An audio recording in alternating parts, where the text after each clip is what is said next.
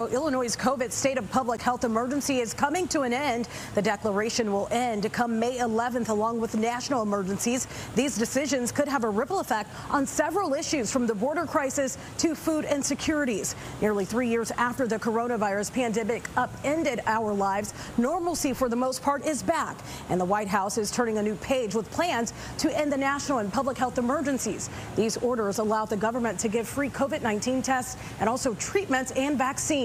Once the emergency ends, many people may have to pay out of pocket for some of those items. Letting the emergency expire would also lift Title 42 at the border, which is why the Biden administration is waiting until May.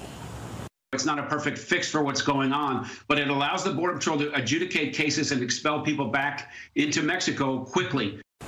As for student loan forgiveness, the White House says ending the national emergency won't change the legal justification of the plan, saying many borrowers still face the risk of default because of COVID-19.